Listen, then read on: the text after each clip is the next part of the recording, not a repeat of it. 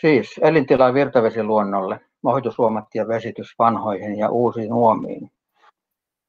Ja tässä tulee nyt tällainen kokoelma erityyppisistä kunnostuksista vähän laajemmin ja nyt näitä ajankohtaisia hankkeita myöskin. Tässä nyt on esimerkkinä kuvana Kemiön Pirttikoski, jota harvoin nähdään tässä tilassa.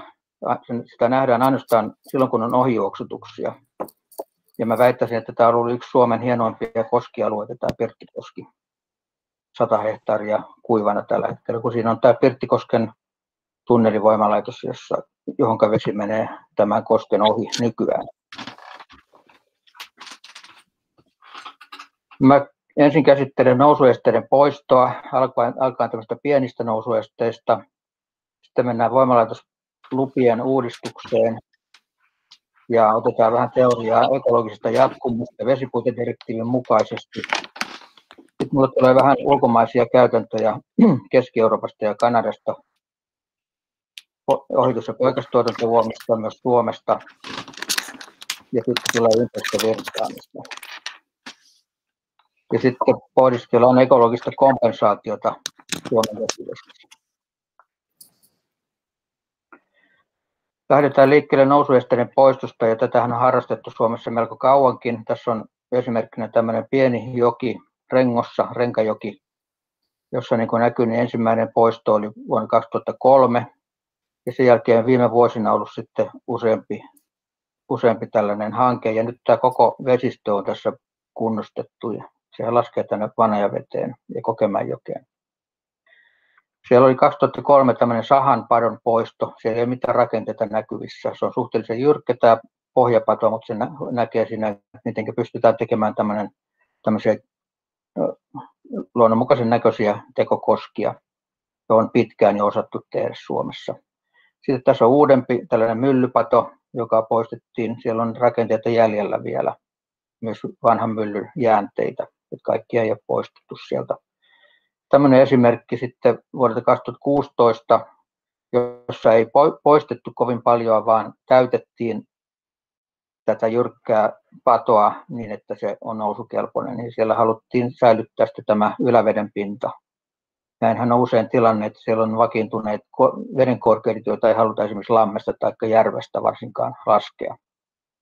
Tästä on aika mukava video tästä kunnostushommasta Vanajavesisäätiöltä.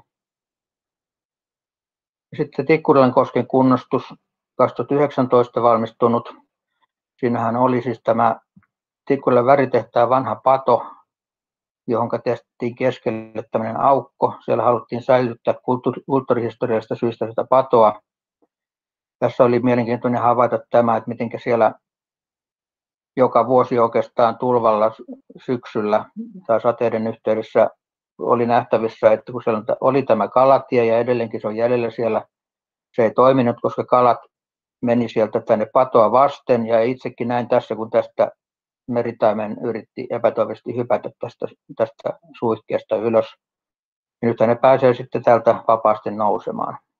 Siis tämmöiset kalatiet, jos ne on vähänkään väärin sijoitettu niiden suuaukko verrattuna siihen isoimpaan virtau, virtauksen kohtaan, niin ne ei, ei silloin löydä semmoista pientä, pientä virtausta esimerkiksi tekniseen kalatiehen.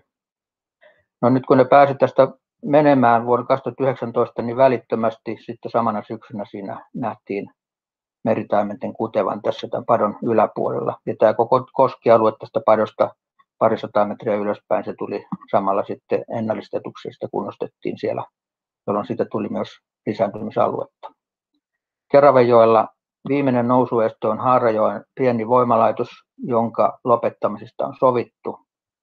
Ja sen kunnostamisen jälkeen koko Keravajoki vapautuu sitten Hyvinkäälle asti. Siellä on Kellokosken pato yläpuolella, joka on, jonka on jo tehty tällainen kalatie ja yläosa on kunnostettu. No sitten tämä vesivoiman lopettaminen, joka on tässä kovasti ajankohtainen ollut viime aikoina katselin Motivan sivuja. Motivahan edistää uusiutuvaa energiaa ja niin edelleen. Ja onneksi ne on korjanneet näitä sivujensa niin, että vesivoima ja pienvesivoima ei ole enää mikään erityisen suositeltava energian käyttömuoto, vaikka onkin uusiutuva energia. Motiva varoittaa vesivoiman haitoista kalakannoille ja varoittaa myöskin kiristyvistä lupavaatimuksista, erityisesti nollalupalaitoksille, joilla siis ei ole mitään kalatievelvoitteita. Ja tämä, tämä, tästä johtuen pienvesivoima ei ole enää kannattavaa, varsinkin jos siinä joutuu tekemään jotain investointeja, jos siellä ei ole näitä, niin kuin yleensä ei ole tällaisia velvoitteita niissä. No, tässä on sitten esimerkkinä ehkä Suomen ensimmäinen toiminnastaan, suoraan toiminnastaan lopetettu voimalaitos Siuntiojoissa Sogarsfors vuonna 2006. Uudenmaan ely toteutti sen ja siellä oli tämmöinen harrastajajoukko, joka osti tämän voimalaitoksen pois ja pato avattiin, eli tässä on tämmöinen aukko. Ja itse pato allas kunnostettiin koskeksi, ely kunnosti sen ja sen voimalaitoksen viereen tehtiin ohitusuoma, ei pelkästään läpikulku, vaan myöskin lisääntymisalueeksi. Eli sikäli tämä oli tämmöinen hyvin moderni, moderni hanke. Tämä koski, joka tässä avattiin, oli tämmöinen kallioinen ja suhteellisen jyrkkä ja se ei ole ollenkaan varma, että se on nousukelpoinen. Niin sen takia tarvittiin tämä ohitusuoma myös tässä samassa yhteydessä. No sitten tunnettu Hiitolajoki, josta on olemassa päätös kolmen voimalan lopetuksesta. Tämä hankehän lähti liikkeelle sillä tavalla, että ely, ely vaati kalatievelvoitteita ja perusteena silloin oli muuttuneet olosuhteet. Muun muassa se, että, että Laatukan lohella oli jo vapaa pääsy Venäjän puolelta, jossa oli poistettu nousuesteitä, myöskin rajan nousuesteet, nämä piikkelangat ja muut oli poistettu, jolloin Laatukan lohi pyrki jo Suomen puolelle ja nimenomaan tänne Kangaskosken voimalaitoksen alapuolelle. Ja nämä kaksi voimayhtiötä, Vantaa Energia, joka omisti tämän Lahnasen voimalaitoksen ja Hiitolajoen voima, joka omisti Kangaskosken ja yläpuolisen Ritakosken, nehän valittivat näistä, näistä kalatievaatimuksista, mutta ne vaatimukset meni kuitenkin sitten ylemmissä oikeusasteessa läpi, jolloin sitten ne olisivat joutuneet investoimaan niihin, jolloin niiden myyntihalukkuus kypsyy sitten niin, että ne myivät ne Imatran seudun virkistysaluesäätiöllä. Ja tässä yhteydessä siis Vantaa Energia oli se, joka ensimmäiseksi päätti myydä, koska he menettivät tämän PR-arvo, joka tällä vesivoimalla, eli uusiutuvalla energialla oli heille ollut vuodesta 2000 alkaen, ja sitten olisi tullut vain kustannuksia. Sitten muita hankkeita, joita on tässä juuri päätetty, on esimerkiksi Nurmeksessa Louhikosken voimalaitoksen lopettaminen. Pohjois-Karjalan sähkö päätti lopettaa sen. Ja sen jälkeen on ollut vielä Kuusinkijoen Myllykosken lopettaminen, jonka myynnistä on sovittu. Se lopetetaan ensi vuonna. Eli sieltä saadaan tähän arvokkaaseen Taimenjokeen sitten uutta, uutta aluetta yläpuolelta, kun taimenet pääsee nousemaan siellä. Sitten käynnissä oleva hanke on myöskin Tourujoen voimalaitoksen lopettaminen Jyväskylässä. Eli Jyväskylän, Jyväskylän Energia on päättänyt luopua siitä. Siellähän Jyväskylän kaupunki on ollut aktiivinen, kun sinne tämä vanhan Kankaan paperitehtaan alueelle on muodostunut tällainen uusi asuntoalue ja tästä koskesta tulee virkistyskoski. Tällainen maisema-aihe kaupunkiin. Siellä on paljon suunnitelmia toiminnasta siellä on puhuttu melonnasta ja niin edelleen. Se on luvituksessa tällä hetkellä ja toteutus mahdollisesti alkaa sitten ensi vuonna. No sitten on vesivoimalaitosten lupaehtojen uudistamista ja nyt sellaisessa tapauksessa, että, että voimalaitos säilyy ja on kyse isommista voimalaitoksista. Ja, ja näitä on, on siis ollut mahdollista näitä lupaehtojen uusimisia jo aikaisemminkin ja periaatteessa on olemassa nykyisen vesilain mukaan, mutta se on jonkun verran hankalaa. Eli kalaviranomaisen täytyy todistaa, että olosuhteet ovat muuttuneet. Se on tämä olosuhteiden muuttuminen siellä se peruste, kun voimalaitoksella on yleensä istutusvelvoite vain. Se on se kalatalousvelvoite on istutusvelvoitteena nykyisin. jos ei ole kalatietä. Ja taustalla tähän lupaehtojen uudistamiseen on kalatiestrategia 2012. Siellähän esitettiin tavoite vaelluskalojen palauttamisesta ja luontaisen lisääntymisen edistämisestä ja nimettiin tietyt merkittävät vesistöt ja voimalaitokset, joiden yhteyteen tarvitaan kalatie, ja niitä on toteutettu tässä sitten vuosien mittaan. Pohjoisilla isoilla joilla on nyt elykeskus, Lapin elykeskus viranomaisena pyrkinyt osoittamaan Iijoen ja Kemijoen osalla, että, että olosuhteet ovat muuttuneet. Ja peruste on ollut muun muassa se, että istutusvelvoitteet eivät enää toimi. Ja tämähän on ollut todettu jo pitempään 2000-luvulla, että näistä jokisuille istutetuista kaloista ei, sitten, ei palaa enää kovinkaan moni, eikä niistä istutuksista ole sitä rahallista hyötyä eikä käytännöllistä hyötyä merikalastuksessakaan, niin kuin vielä 90-luvulla oli. Ja lisäksi nämä istutusvelvoitteet on todettu alimitotetuiksi verrattuna siihen luonnontuotantoon, mikä aikanaan oli. Ja vielä, vielä näiden kalojen elinvoimaisuus on paljon heikompaa kuin luonnonpoikasten. Tästähän on kiistaa sitten voimayhtiöiden kanssa, mikä on oikea mitoitus ja niin edelleen. Ja näitä vertaillaan sitten Torniajokeen. Ja tätä keskustelua on käynnissä tässä lupaehto-uudistuksen yhteydessä. Vahvana kannusteena sitten näihin lupaehtouudistuksiin oli myöskin EU-komission vaatimukset Suomen lupaehtojen uudistamiselle, koska kovin mone, kovinkaan monessa maassa ja Euroopassa ei ole tällainen tilanne, että on pysyvät ja ikuiset luvat, vaan on yleensä määräaikaisia, niin niitä tarkistetaan esimerkiksi kerran 30 vuodessa tai Espanjassa kerran 70 vuodessa ja niin edelleen. Ja komissio on siis painostanut Suomea jo aikaisemminkin tähän uudistamiseen, mutta tämä viimeinen kehotus tuli tähän 2019, eli kesken tämän lupaehtoprosessin, kun se oli jo laitettu käyntiin täällä näillä kahdella pohjoisella joella. Ja tässä on nyt englanninkielisenä tämä komission vaatimus, josta voidut näitä katsoa näitä termejä sitten tarkemmin. Siellä painotetaan ekologisia virtaamia, mikä on hyvin merkittävä juttu. Eli Suomen pitää jatkaa tätä ekologista virtaamien määrittelyä. Eli silloin oletettiin, että se olisi Suomessa kovasti pitkälläkin se, että määriteltäisiin jokaiseen jokeen ekologinen virtaama eli ympäristövirtaama. Ja sitten tässä sanotaan, että, että Suomen pitää pitää huolta siitä, että tämä on toteutettu kaikilla vesienhoitoalueilla ja tarkoittaa myöskin kaikissa vesienhoitosuunnitelmissa.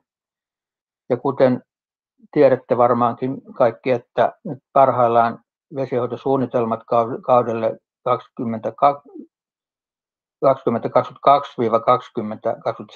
on juuri lausunnolla ja ne on lausunnolla nyt enää vähän aikaa 14.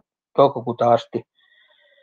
Kysymys on, kuinka paljon siellä on käsitelty tätä komission vaatimaa ympäristövirtaamaa. Mä en ole kovinkaan paljon siellä nähnyt mainintoja niissä, mitä mä olen katsellut. Hei, saako Mitäs? kysyä toi, toi RBD, onko se regional mikä? Se on River Basin District, okay. eli vesihoitoalue, mutta sehän vesihoitoalueen toimenpiteet toteutuu vesihoitosuunnitelmassa tai sen, ja sen toimenpideohjelmassa, jotka on juuri lausunnoilla. Joo, kiitos. Ja tässä tämä uudistaminen, siis sen, sen pitää koskea kaikkia vesivoimalupia, ja sen, se pitää tehdä, jotta varmistetaan vesi, vesipuitedirektiivin näiden tavoitteiden saavuttaminen. Eli vesipuitedirektiiviä pitää lukea silloin huolellisesti suhteessa näihin vesihoitosuunnitelmiin, mitä nyt esitetään, erityisesti suhteessa ekologiseen virtaamaan, joka mainitaan nyt toisen kertaan tässä kalateitä, kalateihin ja muihin näihin haittoja lieventäviin toimenpiteisiin. Eli näitä kaikkia kolme aluetta pitää käsitellä näissä luvissa ja myöskin silloin näissä vesihoitosuunnitelmissa. Katsotaan, mitä nämä nyt tota, Anteeksi, täällä vähän fasilitaattorina olen Niuho, mutta tämä VFD on siis lyhenne mistä englannin kielen sanoista? Water Framework Directive, eli vesipuitedirektiivi. Juuri näin, kiitos.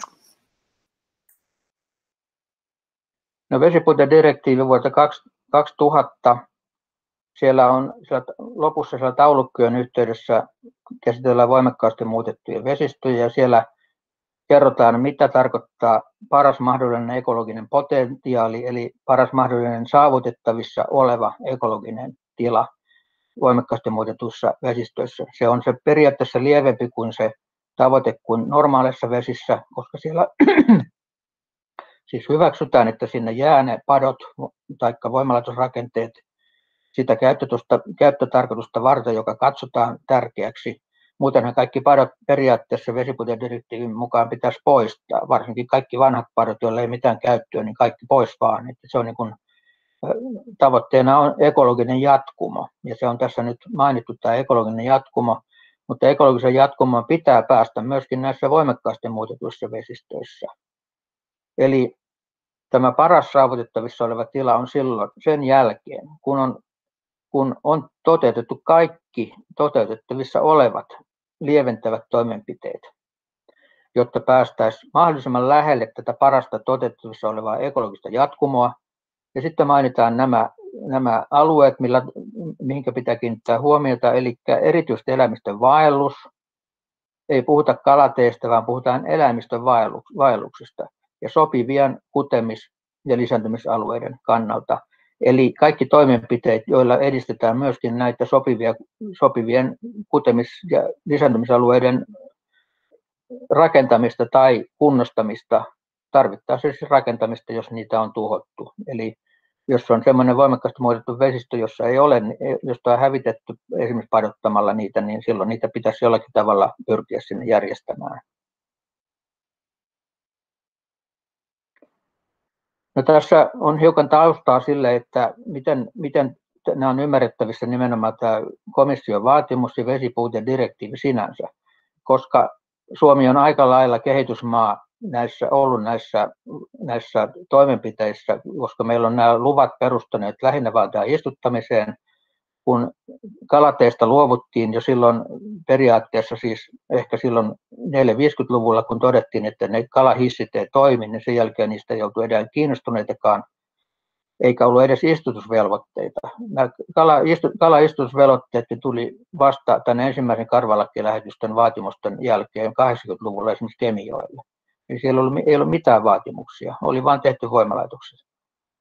Ja sen sijaan Keski-Euroopassa jo varsin aikaisin tehtiin, on tehty näitä kalateita. Tiedetään, että niitä on tehty Ruotsissa ja on tehty Skotlannissa ja ne on toimia on tehty Ranskassa ja niin edelleen. Mutta esimerkiksi Saksassa ja Sveitsissä mentiin jo 80-luvulla varsin pitkälle siinä, että mitä, mitä pitää tehdä vesivoiman yhteydessä, kun siellä tuli tämmöinen yleinen lainsäädäntö, siis luonnonsuojelulakiin jossa vaadittiin tehtäväksi korvaavia habitaatteja ja erilaisia korvaustoimenpiteitä. Hyvin tarkkaan arvio, arvioitiin kaikessa hankkeessa, mitä luontoarvoja menetetään ja mitä siellä sitten pitää tehdä korvaamaan niitä menetyksiä. Ja tässä on sitten tällainen hyvä esimerkki, joka koskee vesivoimalaitosta. Tämä on Reinissä ja tämä on suhteellisen uusi voimalaitos, tai oikeastaan se on vanhan voimalaitoksen uusiminen vanha voimalaitos sijaitsi aikanaan tällä puolella ja tämä oli oikeastaan yläkanavan kohta, missä on tämä, nyt tämä toteutettu poikastuotantouoma. Uusi voimalaitos tehtiin tälle Sveitsin puolelle ja samalla, samassa yhteydessä hiukan korotettiin tätä patokorkeutta ja, ja tästä menetyksestä, joka patokorkeuden korotusta aiheutui, sen takia tämä voimayhtiö joutui tekemään tämän luvan mukaisia korvaavia toimenpiteitä ja sellainen on nyt tämä poikastuotanto-uoma tässä. Se on 50 metriä leveä virtaama on 10-25 kuutiota sekunnissa, eli aika, aika reipas, semmoinen suomalaisittain keskikokoisen joen kokoinen virtaama. Vähimmilläänkin tämä 10 kuutiota. Joen määritelmä alkaa että jo yksi, yksi kuutio sekunnissa, eli 104 kilometrin suuruinen valuma-alue, niin se on jo joki niin tämä on tällainen kohtuullinen. Ja tässä toimii erittäin hyvin. Siellä oli aika pian valmistumisen jälkeen tämmöinen inventointi siellä.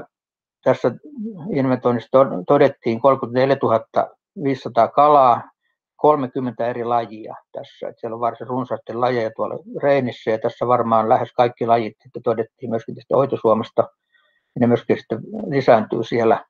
Ja sinne sattumoisin sitten myöskin kaksi lohta eksy silloin, silloin vuonna 12 inventoinnin yhteydessä tai niihin aikoihin. Siellähän, sieltähän itse asiassa puuttuu vielä kalateita väliltä, esimerkiksi Baselin alapuolelta parista voimalaitoksesta edelleenkin, mutta ne on jotenkin päässeet vaivasuluista tai jostakin sinne. Ja tässä on, tämä on sellainen tämä rakenne siinä, että siinä menettää joen suuntaisena tämä poikastuotantouoma tänne alas kilometrin verran, mutta sitä haarautuu täällä lähellä patoa tällainen luonnonmukainen kalatie, joka tulee tänne padon alle. Ja mulla ei ole ihan tra- tarkkaa tietoa, että meneekö ne kalat nyt sitten, löytääkö ne tätä alapuolelta, koska siellä on aika, se re, aika reilu virtaus. Että ainakin kalat, jotka ui rantaa pitkin, niin ne varmaan löytää tämmöisen uoman sieltä, vai menevätkö ne sitten tänne padon alle ja löytävät tämän kalatien. Molemmat on mahdollista. Se on niiden jälkeen, se haraaman yläpuolella on sitten se kokoama allas, mistä voidaan tutkia niitä kaloja. Mutta sitten yhtenä yhtenä taustana, josta varmaan valistuneet komission henkilöt siellä, biologit on tutustuneet aiheeseen, on sitten Kanada. Ja siellähän on ollut jo pitkään lainsäädäntö, että siellä täytyy tehdä toimenpiteitä Tyynemeren, esimerkiksi Tyynemeren lohien kantojen turvaamiseksi voimalaitosrakentamisen yhteydessä, mutta niitä tehtiin 50-luvulla myöskin ihan silloisen uiton haittojen takia. Ja siellä on siis tämä perinne tämmöisten lisääntymisuomien tekemiseen 50-luvulta. Siellä on muun muassa punalohelle tehty niitä, ja nehän käyttäytyy siis sillä tavalla, että ne kutee näihin, näihin poikastuotantouomiin tai oikeastaan kutuuomiin, spawning channel. Ja ne poikaset lähtee aika pian heti kuoriutumisen jälkeen sieltä pienenä muutaman viikon päästä läheiseen järveen ja ne sitten käytännössä tyhjenee ne uomat ja ne kuivataankin ja niitä putsataan ja niin edelleen. Eli ne on tämmöisiä tavallaan pikakutukanavia nämä, joita aluksi tehtiin ja sitten 2000-luvulla niitä alettiin kunnostaa sitten näille muille Tyynemeren lajeille, kuten kyttyrä, hopea ja kuningaslohi, jotka käyttäytyy samaan tapaan kuin, kuin Atlantin lohi, eli ne on siellä pari tai kolme vuotta niissä uomissa. Tässä on kyttyrälohia tässä kuvassa. Täällä on yksi tällainen tehty tämmöinen poikastuotantouoma. Tässä taitaa olla hopealohi, vähän kirjolohen näköinen.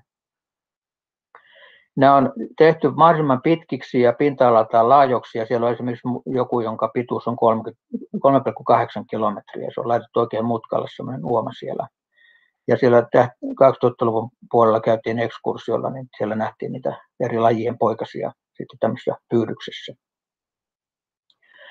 Sitten vähän uudempi Kanadasta, jossa toteutui tämä Kanadan lainsäädännön no net loss periaate myöskin USAssa voimassa, eli hankkeet eivät saa aiheuttaa monimuotoisuuden nettohävikkiä.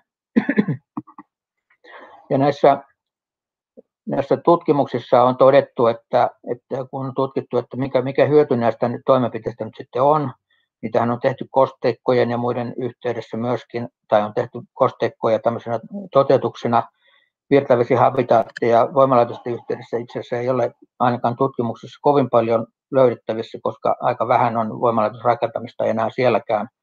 Mutta tämä on hyvä esimerkki tämä Granite Canal Newfoundlandissa, eli täällä Atlantin puolella 2003 tehty hanke. Yleensä on siis todettu eri hankkeissa, että, että että tätä korvaavaa uutta habitaattia pitää olla kaksi, kaksinkertainen määrä, eli kahden suhteessa yhteen. Tämä olisi niin riittävä sen biodiversiteetin säilymisen kannalta.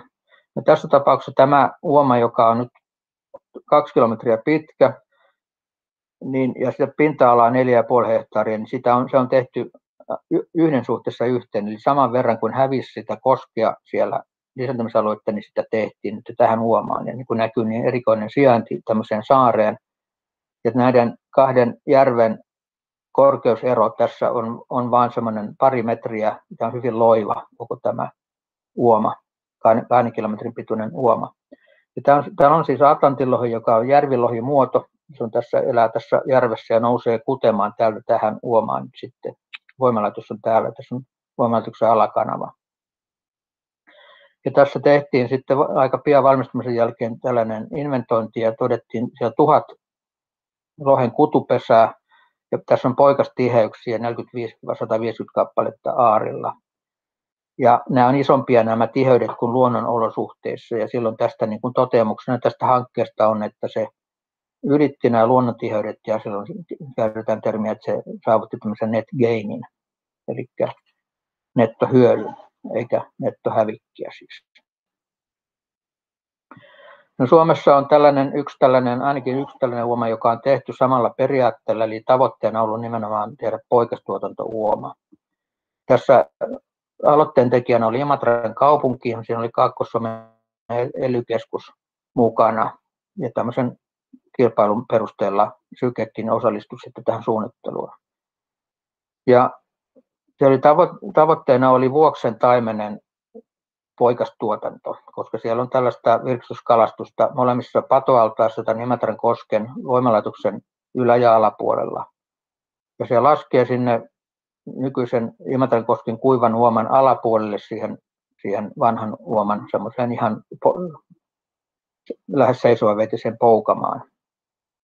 Eli ei, ei, ei ole niin kuin kalatie, kalatiehän tietäisi voimalaitoksen viereen, ja laskee sinne toiselle puolelle. Ja tässä tämä suunniteltiin nyt sillä tavalla, että siis käytettiin habitattimallinnusta ja virtaushabitattimallinnusta ja selvitettiin, että millä tavalla ne virran nopeudet ja vesisyvyydet olisi siellä mahdollisimman edullisia poikasille. Ja tuloksena tässä näistä sähkökalastuksesta oli silloin aika pian valmistumisen jälkeen, kun se valmistui 2014 ja 2015 syksyllä sitten heti sinne oli, oli nämä, nämä vuoksenlohet sen löytäneet.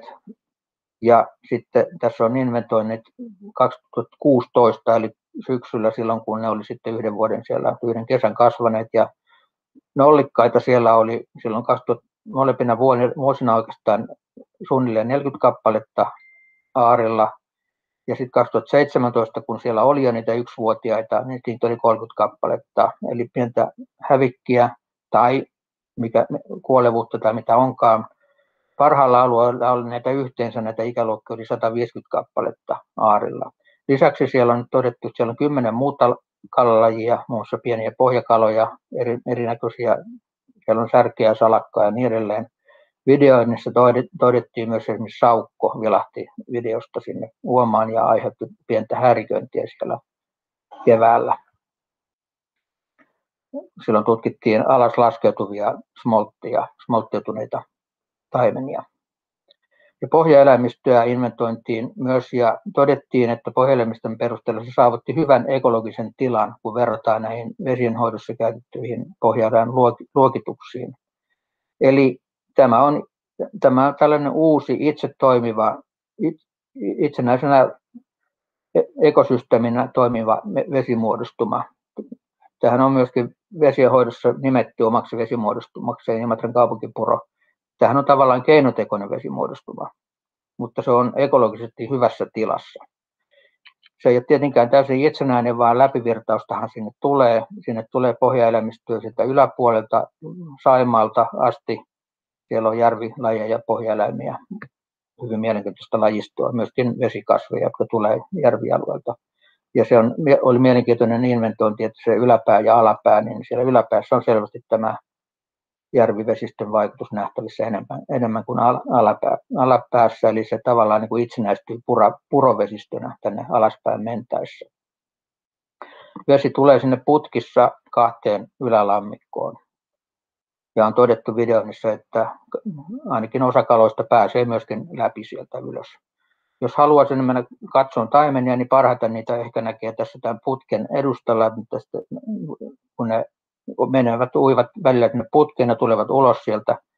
Ja sitten siellä on semmoinen kadun alituksen, alituksessa, siellä on semmoinen tunneli, pimeä tunneli, niin siellä näkee taimenia aina. No nyt on sitten tämän Imatran kaupunkipuron mallin mukaisena herännyt kiinnostus Suursavon sähköllä, että he haluaisivat nyt tällaisen vastaavan uoman Vaajakoskelle. Tässä näkyy nelostie, näkyy aika iso voimalaitosrakennus siellä. Ja mä olen tehnyt siinä tämmöisen esisuunnitelman, jossa, joka nyt sitten on lähdössä tarkempaan suunnitteluun. No sitten ympäristövirtaamat. Niillähän tarkoitetaan eliöiden kulkemisen, kutemisen ja poikastuotannon kannalta riittävää virtaamaa eri vuoden aikoina. Ja tässä on nyt kuvattuna englanniksi näitä erilaisia, erilaisia tilanteita, jolloin tarvitaan jotain tiettyä virtaamaa. Täällä on esimerkiksi alkaa niin sitten talvella. Siellä on mädin kehittyminen siellä pohjalla. Sehän ei tarvitse kovin paljon virtaamaa, se on tässä alatasolla.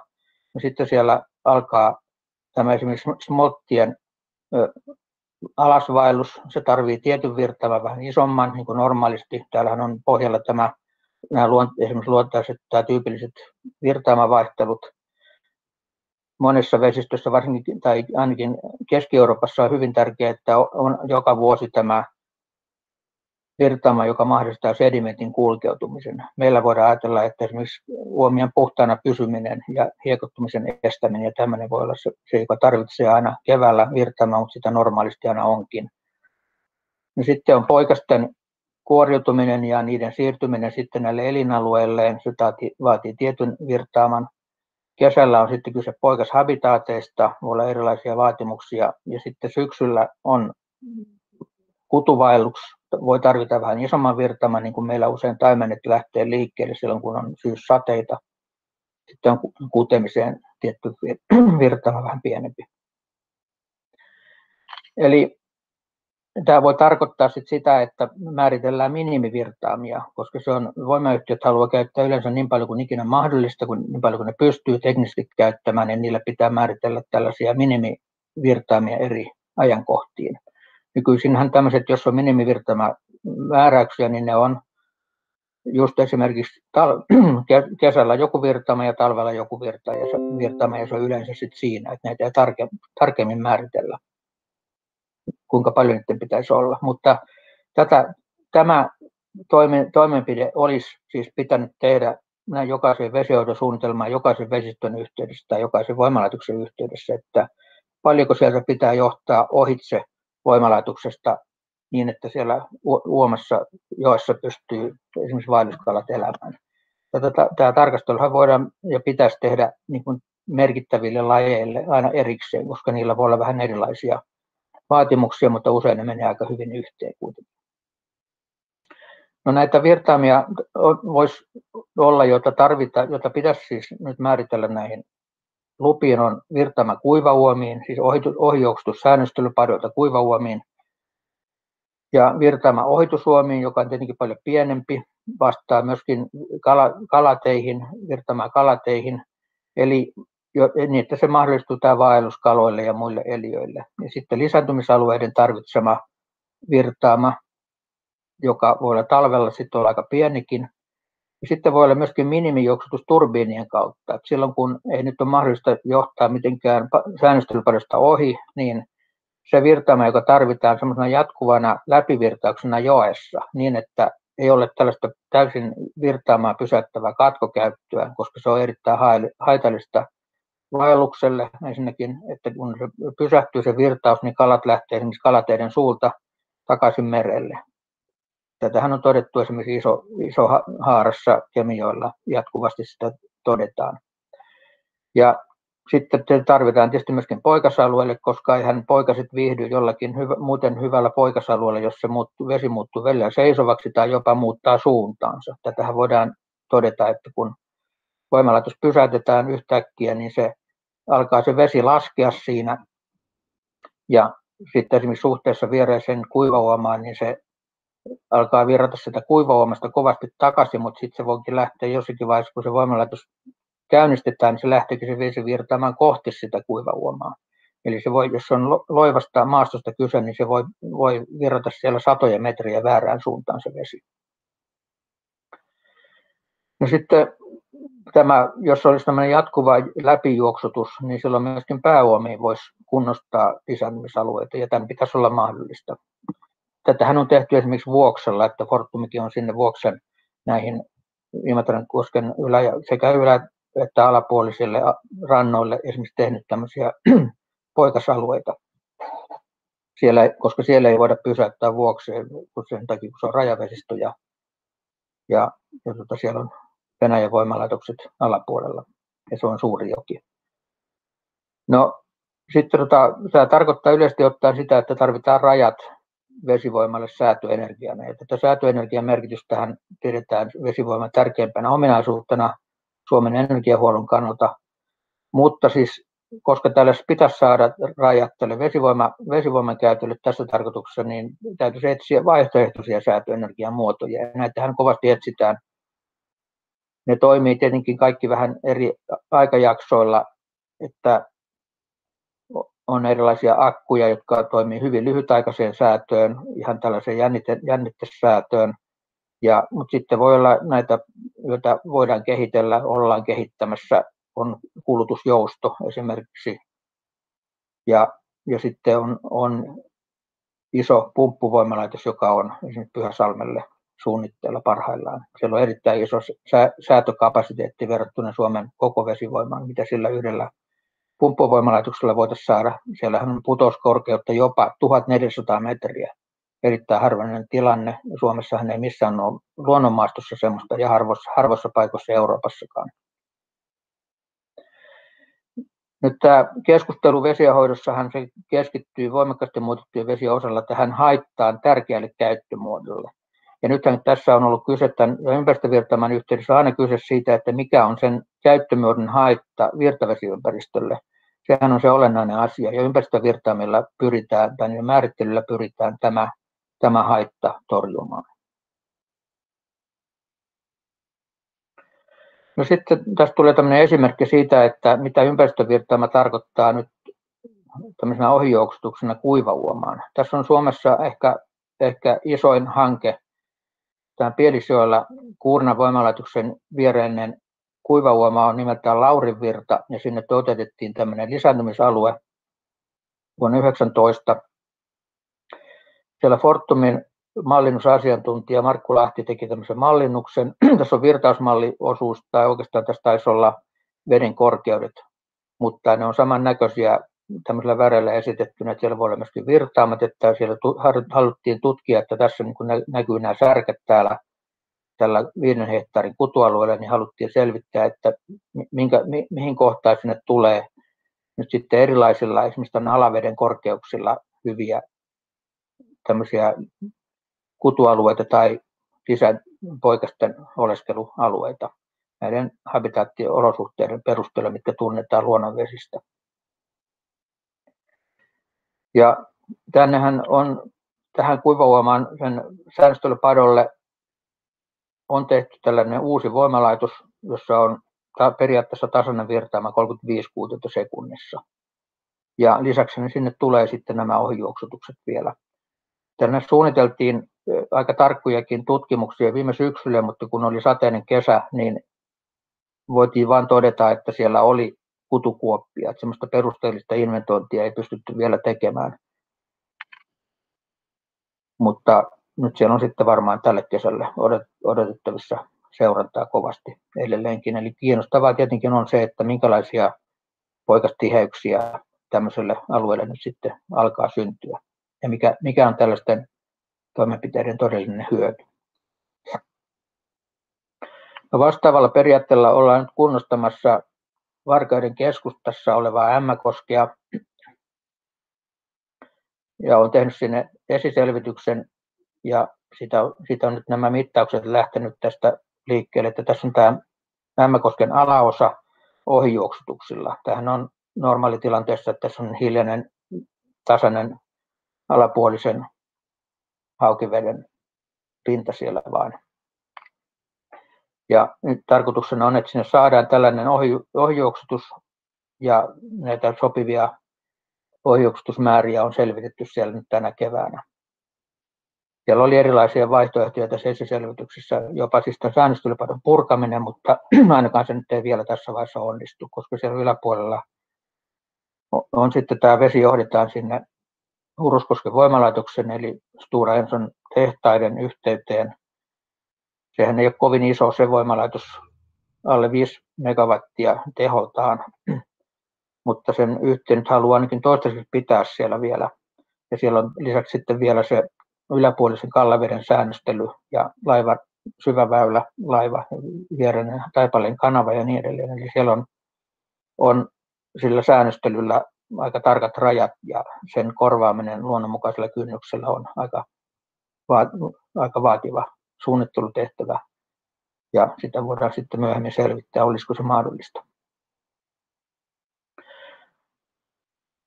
No sitten mennään tässä näihin AVin lupaehtouudistuksiin. Tässä tota, jos 10 minuuttia tässä sitten vielä neljään asti käsitellään näitä. Ja...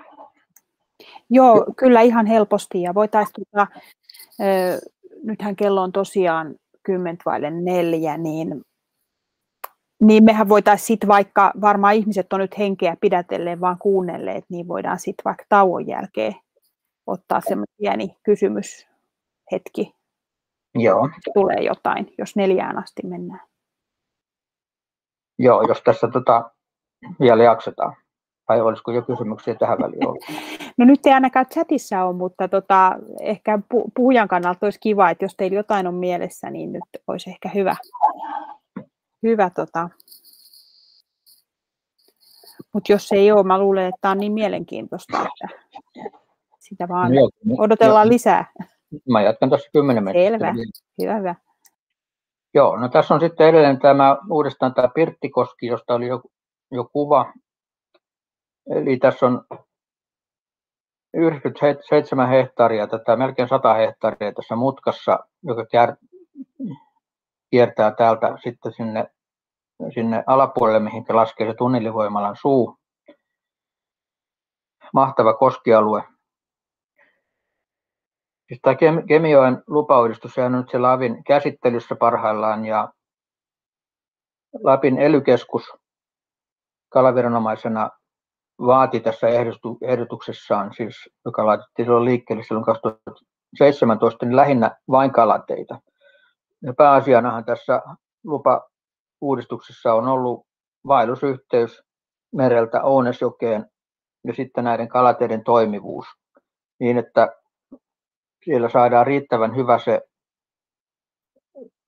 läpäisevyys jokaisessa kalatiessä niin, että ei tule sitä hävikkiä, että sinne tarpeeksi moni sitten, kun jokaisen voimalaitoksessa on siellä alapuolella on, on näitä, tulee sitä hävikkiä väistämättä, että niitä kuitenkin sitten tarpeeksi sinne pääsisi sinne Ounesjokeen. Tämä on ollut se, niin se pääintressi myöskin Lukella, se on ollut pääintressi selvittää näitä toimivuuksia ja sitä ketjua, miten se toimii.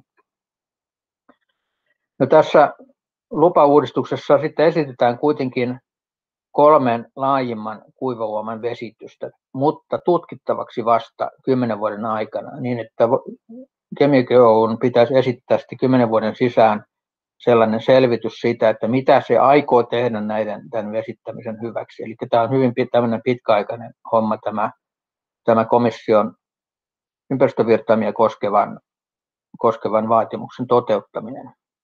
Ja ja tämähän alkoi tämä prosessi ennen kuin komissio oli tämän viimeisen huomautuksensa ympäristövirtaamista esittänytkään. Mutta tämähän on nyt käynnissä Avissa tämä prosessi ja viime elokuuhun mennessä hän piti esittää muistutuksia ja mielipiteitä näistä ja joissakin mielipiteissä esitettiin kyllä sinne ympäristövirtaamia nopeamminkin toteutettavaksi ja, yle- ja laajemmin toteutettavaksi. Eli on vaadittu sitä, että nämä kuivauomat pitäisi kunnostaa samalla, kun toteutetaan kalatiet, koska nehän liittyvät toisiinsa. Erityisesti sillä tavalla, että, että myöskin kuivauomien yhteyteen, eli säännöstelypaidoille pitäisi tehdä kalatiet, eikä vain sinne, sinne voimalaitoksille alakanavien yhteyteen. Tämän on, tähän on kyllä sellaisia vihjauksia ely niin, että voitaisiin varmaan tarvita aina kaksi, kaksi kalatietä ainakin jokaisen voimalaitoksen yhteyteen. No, näissä muistutuksissa on sitten esitetty sitä, että vaellusyhteydet pitäisi tehdä pääosin ohitusuomilla, koska samalla myöskin niihin ohitusuomiin saadaan lisääntymisalueita. Ja sitten ympäristövirtaamien määrittelyllä saataisiin myöskin tähän pääuomaan, pääuomaan tasaisempi juoksutus ja sitä voitaisiin kunnostaa lisääntymisalueena. Eli sillä tavalla saataisiin kattavasti Kemijoki palautumaan niin, että siellä voisi lohet ja taimenet ja muut kalat sitten lisääntyä. Tässä no on nyt, hei tota, tuo Pirkko-Liisa Luhta pyytänyt puheenvuoroa, ymmärsinkö oikein, käsi pystyssä on siellä. Joo, tervehdys Jukka ja tervehdys kaikki muut. Tota niin, toi on tullut tarkistamatta oikeastaan koko aikana, että mitä sä luulet, arvelet siitä, että onko mahdollista, että AVI määräisi hakijan esityksestä huolimatta näiden ohitusuomien vesittämisen jo ensimmäisessä, tai esimerkiksi nopeuttaisi tuota kymmenen vuoden aikana tuota selvitystä, että onko se edes mahdollista? No minä jotenkin haluaisin uskoa, että kun on esitetty tämmöisiä vaatimuksia, että näitä pitäisi täydentää niitä vaatimuksia, mitä ely esittänyt, niin uskoisin, että ne voisivat kyllä perusteella mennä läpi siellä. Joo, meidän täytyisi, niin kuin varmaan kaikki muukin noissa, niin todennäköisesti mennään korkeampaan hallinto-oikeuteen, että, että jos AVI tässä vaiheessa jo niin tiukentaisi aikataulua vaatimuksista johtuen, niin se voisi mennä läpi. Muutenhan se on pikkusen ehkä semmoinen kyseenalainen asia, että kun jos ei ole hakija hakenut jotain asiaa, niin voiko se oikeus tavallaan tiukentaa, mutta tämä on vähän semmoinen eteen piirretty viiva vielä, mutta hyvin mielenkiintoinen asia, koska sama on vaadittu Iijoella ja Kemijoella. Joo. Joo, mä sanoisin tähän vielä, että tämä tulee olemaan nyt isompiä juttuja voimayhtiöille, koska tietenkin nämä ohjauksutukset, jos siellä on joku tasainen ohjauksutus, sanotaan 20 kuutiota tai 30 kuutiota, niin sehän on paljon isompi menetys kuin pieni, pieni juoksutus jonkin ohitussuomaan, sanotaan kaksi tai kolme kuutiota. Ja nythän Kemikin on kerännyt voimia tähän vastaesitykseen jo, ja Kemikin julkaisi myöskin tämän vastaesityksen elokuun, viime elokuun jälkeen, jossa se totesi Fortumin avustuksella, että, että ei näihin kuivavuomiin kannata yrittää kutualueita tehdä, koska niin kuin mullakin näissä kuvissa on näitä isoja juoksutuksia, oliko tässä nyt pari tuhatta kuutiota sekunnista tai jotakin, kun siellä keskivirtama on siis se 550 kuutiota, niin se huuhtelee nämä niin ta- tehokkaasti, että sieltä huuhtoutuu kutusorat ja, ja mahdolliset poikaset pois. Ja esimerkkinä joku ruotsalainen Fortumin voimalaitosalue, jossa näin olisi tapahtunut ja sitten sinne laskettiin kustannuksia, siis siinä muistutuksessa, että kuinka paljon siellä joudutuu joka vuosi, joka tulvan jälkeen aina käyttämään kolmasosan siitä alkuperäisestä kunnostuskustannuksesta, millä kunnostetaan nämä kutualueet, niin joka vuosi aina siihen korjailuun. Ja niistä tulisi sitten sillä perusteella hirvittävän kalliita, jos sitä yrittäisi saada poikastuotantoon. No mä itse esitin mielipiteen tässä ja jo onneksi tähän osasin sitten niin kuin varautua ja totesin, että täällä pitäisi tehdä sitten suojakivikoita, suisteita, joilla ohjataan tätä isoa virtaamaa ohi niistä paikoista, johon nyt sitten halutaan tehdä kutusoraikkoja. Ja voidaan tehdä padotuksia ja muita, joilla saadaan sitten tulvatilanteessa sitä vettä nousemaan sen verran paljon ylemmäksi, että se tätä poikkeleikkausta suurentaa ja pienentää sillä tavalla virranopeuksia täällä pohjassa. Mutta tämähän on tutkittava asia, että miten näitä näitä kuivavoimia voidaan kunnostaa ja pitää tietysti ottaa huomioon, että onhan siellä ollut luonnontilassakin aina, aina nämä kalat ja kyllä ne siellä vaan on koskialueella lisääntyneet. Kyllä, ja jos ajattelee, että luonnontilassa virtaamat vaihteli muutamasta kymmenestä kuutiosta tuhanteen sataan kuutioon, niin on ne vaihtelut olleet sille luonnontilan aikanakin melkoisia. Kyllä. Ja nykyään sieltä menee vielä aika iso osa haukataan sinne tunneliin esimerkiksi tässä tapauksessa, että siellä on periaatteessa pienemmätkin ne huippuvirtaamat kuin luonnontilassa. Joo, kiitos. Mutta nyt kello rupeaa olemaan neljä, että... Joo, tämä oli oikein piristävä tämä, tämä kysymys ja keskustelu. Ja tässä kohtaa on hyvä ottaa pieni tauko, että mennään tästä eteenpäin. Eli Jukka saa jatkaa. Ja tässä kohtaa en malta olla mainitsematta, että viime viikolla oli tosi hyvä workshoppi vesienhoitosuunnitelmista. Ja siellä Jukka myöskin esitti näitä rakennettuihin jokiin liittyviä näkökohtia vinkeiksi vesienhoitosuunnitelmista lausujille ja se tallenne on saatavilla. Että tuota, näin, sitä suosittelen myöskin. Mutta nyt varmaan Jukka pääsee sitten jatkamaan ja miettikää hän hyviä kysymyksiä ja huom, myös tyhmät kysymykset ovat sallittuja. Eli nyt tulee niin tiukkaa tämmöistä settiä, jossa on vaikeita termejä, niin kuin näitä lyhenteitä ja ympäristövirtaamia ja kuutiometrejä, litroja ja sun muita, niin kysykää ihan rohkeasti, että jos jotain tuntuu menevän ohi. Ole hyvä. Joo, selvä. No joo, sitten tulee vähän mu- mu- muutamia muita tästä kemiolta vielä näitä, näitä merkittäviä voimalaitoksia, joiden yhteydessä on myöskin kuivavuomi, eli Ossauskoski, kun lähdet tullaan sieltä alajuoksulta, niin tämä on, on sitten, siellä on Isohaaren yläpuolella on Taivalkoski ja sen yläpuolella sitten Ossauskoski ja siellä on tämä Kalaviljon laitos myöskin allas näkyy tässä, jossa nämä, nämä velvoitelohet siellä kasvatetaan. Ja kalatiehän täällä varmaankin tulee tänne voimalaitokselle, voidaan tehdä tänne ohitusuomana, mutta sitten sellainen tarvitaan mun nähdäkseni ehdottomasti tänne säännöstelypadolle. Säännöstelypadon ohitusuomasta saadaan vielä luontevasti haara tällaista luonnon puroa pitkin peltoalueen kautta.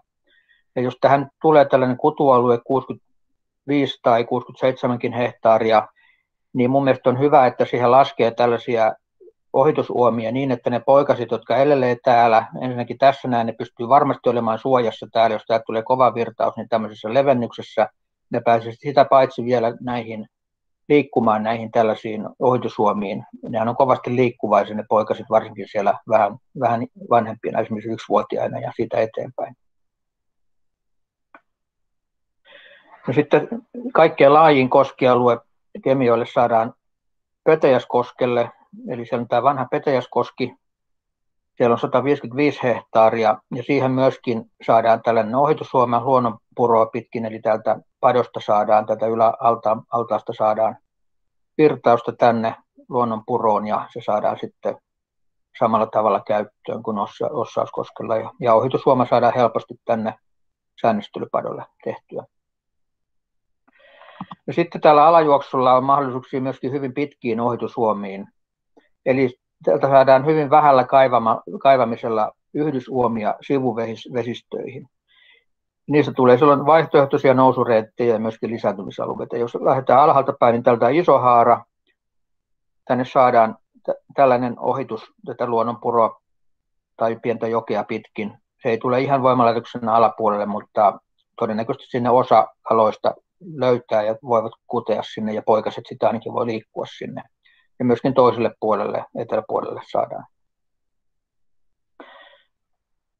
Tai itä- ja länsipuolelle siis. Ja Ossauskoskella on sitten myöskin tällainen, täällä toisella puolella, länsipuolella on tällainen luonnonpuro, johon, johon ei tarvitse kaivaakaan mitään, vaan tästä padosta johtamalla niin saadaan tällainen yhteys tänne lisääntymisalueeksi. Ja sitten Taivalkoskella saadaan tällainen ohitusuoma, joka, joka kulkee luonnonpurolinjausta ja siitä saadaan sitten ohitusuoma tänne säännöstelypadon puolelle.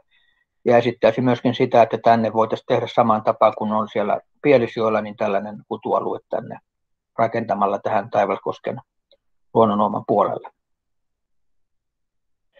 No sitten tämä Sierillä kysymys. Sierillähän, Sierillä rakentaminen tuhoisi viimeiset kosket, mitä Kemioilla on tällä, täällä keskijuoksulla jäljellä siellä on kalastuspaikkoja tällä hetkellä. Ja tässähän tämä tilanne on se vesihoidon näkökulmasta, että koko, koko Kemijoki, tällä osa on määritelty voimakkaasti muutetuksi vesistöksi ja silloin siellä ei tunnu missään, jos sinne sitten rakennetaan yksi voimalaitoskin vielä. Tätä ei ole, sanoisin, että tätä ei ole huomattu aikaisemmin tätä asiaa, että tämä on tietenkin voimayhtiön tavoite ollut, että pitää tämä voimakkaasti muutettuna, mutta kyllä tätä, tämä aivan hyvin olisi voitu tämä luokitus tältä pätkältä muuttaa normaaliksi joeksi, koska ei sillä ole niitä ominaisuuksia, joita täällä luokitusperusteessa määritellään, niin sinne ei kohdistu esimerkiksi padotusta alapuolelta, se ei ulotu se alemman padon voimalaitoksen Panttauskosken padotus ollenkaan tänne asti. Siellähän on Rovaniemi ja Ounaskoski on siinä välillä ja Olkkakoski tässä välillä koskena ja sitten vielä nämä, nämä tässä tervakarit ja muut tällaiset pienemmät virtapaikat. Eli se pitäisi määritellä normaaliksi huomaksi ja nyt sitä on esitetty nyt tässä ajateltu näissä lausunnoissa tähän vesihoitoon, niin nimenomaan huomattaa tästä. Ja kyllä siellä voisi olla sitten muitakin pienempiä pätkiä tässä alaosalla, jotka niiden pato, selvästi patoaltaiden välillä voisi olla sellaisia luonnontilaisia osuuksia. Sinne tulisi vain enemmän näitä luokiteltuja alueita ja niillä olisi omat ominaisuutensa. Nyt kun tuota pieni hengähdystauko sinulla Jukka, niin tänne alkoi vyöryä nyt näitä kommentteja ja kysymyksiä. Ne alkoi ne vyörymät tuossa, kun esittelit näitä Kemioen ö, voimalaitoksien ohimenevien koskien vesittämistä tai ohitusuomia. Niin täällä ensimmäisenä tuli tällainen, että Pirkko-Liisa Luhta kirjoittaa, minusta Isohaaran purkamisesta puhuminen voitaisiin käynnistää nyt. Sehän on vahinko koko pato ja rakennettu käytännössä lähes suvantoon. Miten kommentoisit? Ihan hyvä ajatus. Mä en ole sellaista rohjannut esittääkään tässä. Mä olen vain esittänyt näitä ohituksia ja niin edelleen. Mutta ihan hyvä ajatus. Joo, Joo, ja varmaan noin niin kuin, tähän liittyy varmaankin siihen, että iso haara taidettiin rakentaa suurin piirtein ilman lupaa, että lupa tuli vasta myöhemmin sitten, kun pato oli jo pystyssä ja näin silloin sodan tiimoillyksessä. Ja siinä on rautatietä ja muuta siinä padossa sitten. Joo. Tota, sitten Ilpo Koppinen kyselee, minkälaisia korkeuseroja Taivalkoskella, Isohaarassa ja Ossauskoskessa on? No, mä en nyt muista ihan tarkkaan, mutta ne on 10 ja 15 metrin välillä suunnilleen sitä luokkaa. Joo. Ja sitten Seppo Partanen kysyy, että Pintamoojan pikkutaivalkoski, johon voimala on rakennettu, on ollut kalan vaelluseste ylävirran suuntaan myös luonnon tilassa. Vapauttaako tämä viranomaisen ympäristövirtaaman määrittelyvelvoitteesta? Missä tämä pintamo siis on oikein? Voisiko Seppo Partanen avata asiaa itse? Tämä on Iijoen valuma-alueella menee ohi tästä Kemioista. Se on semmoisessa purossa tavallaan. Valuma-alue on neljä tuhatta hehtaaria. Mikrovoima. Joo, puroluokan vesistö sitten. Ei, tota, ei, siinä, ei siellä mikään mistään tota, mun mielestä ympäristövirtaamista periaatteessa pitäisi vapauttaa mitkä on tuommoiset ominaisuudet, mutta tietenkin jos, siis oliko se sellainen luontainen nousueste ollut? On joo, se on aika korkea ollut, pari, yli 20 metriä. Joo, no kyllä se tietenkin se kalan, kalatien velvoitteen, velvoitteen saaminen sinne voi olla vähän hankalaa, jos sitten siellä perustellaan, että tota se ei ole ollut luonnontilanne, mutta siellä nyt tulee kaikki maisemalliset seikat jo ja matkailunähtävyyskysymykset ennemmin hyötynä. Että tota, kyllä se lopettamisasia siellä varmaan se kannattaisi ottaa siellä esille. Ennemmin kuin jotain ohi. Koska tietenkin sitäkin voi ajatella kesäaikaan, että tota, pystytäänkö sitä muuten kesäaikaan vähällä virtaamalla käyttämään sitä laitosta, jos siellä on niin kuin alle sen teknisen virtaaman se virtaama, niin silloin se olisi parempi pitää vesiputouksena esimerkiksi. Joo, kiitos. Ja sitten vielä vastauksia Kemioen putouskorkeuksiin. Tässä on Pirkko-Liisa Luhta esittänyt, että Taivalkoski 15 metriä, Isohaara 12 metriä, Osauskoski 15 metriä. No niin. Ja sitten ei ollutkaan enempää kommentteja niin. eikä kysymyksiä. Mennään eteenpäin. Sitten lähdettiin, lähdettiin Iijoelle, jossa on käynnissä samanlainen lupavelvoitteinen uudistus ja siellä on tämä alajuoksulla on tämä Raasekan voimalaitos ja siellähän on nämä vapaaehtoiset, eli yhteisölliset julkisin varoin periaatteessa maksettavat kalatiet. Ne on saaneet luvan tänne Raasekan voimalaitokseen ja säännöstelypadolle ja molempiin tekniset kalatiet. Lohi pääsee tällä hetkellä tänne ohjuoksutuksella tänne vanhaan nuomaan ja jopa lisääntyy siellä. Ja siellä on nyt tällainen hanke myöskin, tämän, ainakin joidenkin pohjakynnysten kunnostamiseksi ja täällä on, tässä kynnyksessä on nyt sitten näitä, erityisesti näitä lohenpoikasia siellä todettu. Eli, eli se toimii nyt jo lisääntymisalueena ilman sen kummempia, isompia ympäristövirtaamia. Siellä on muutamia kuutioita, joita tähän johdetaan. Mutta periaatteessa siinä saadaan pinta-alallisesti jopa 190 hehtaaria, josta nyt kaikki ei ole tietysti ihan virtapaikkaa, koska siellä on joitakin suvantoja, joita sitä pitäisi ehkä vähentää, mutta se olisi kuitenkin poikasten elinalueena, koska ne liikkuisi koko tällä alueella. Eli sikäli itse tähän kutemiseen ja pienpoikasille varmaan on nyt sitten just nämä virtapaikat semmoisenaan olennaisia, mutta kyllä ne sen jälkeen syönnöstää siellä jo todennäköisesti aika laajallakin alueella. Tässä on mulla tämä kokonaisuus näistä ION toimenpiteistä, kun tässä on tämä raasakka tässä alhaalla, ja näette tässä tätä kokonaissysteemiä. Täällä on maalismaan on ylempänä siinä seuraavana, ja sinne ollaan nyt tänne maalispaan Maalismaan kuivavuomaan tekemässä tällaista kunnostusselvitystä. Tänne Maalismaan alueelle laskee myöskin tällainen, tai kaksi jokea, siellä on Martimojoki ja sitten Nauruan oja. Ja, ne on sikäli mielenkiintoisia, että niistä voitaisiin saada periaatteessa niiden alajuoksusta ja, ja tämä Nauruan oja osalta aika pitkäkin pätkä niin kuin yhteyteen näihin ohitusuomiin ja aina, aina tänne yläaltaisiin niin, että sieltä saataisiin tällainen vaihtoehtoinen nousureitti, niin kuin oli puhetta myöskin Kemijoella. Kokonaisuutena tässä on nyt tällainen ajatus siitä, että miten nämä eri toimenpiteet linkittyy toisiinsa ja miten ne liittyy tähän ekologisen kompensaation ideaan. Ensinnäkin pitäisi olla tämä, siis tämä jäljellä olevien kuivien koskeumien palautus ympäristövirtaamilla.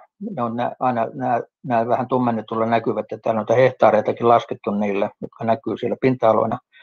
Toisena on sitten nämä ohitusuomat voimalaitoksille ja säännöstelypailuille. Periaatteessa aina kaksi, kaksi tällaista ohitusuomaa tarvitaan. Ja sitten yhdysuomastot myös sivujokien kautta, siis nämä, jotka täällä nyt on näytetty.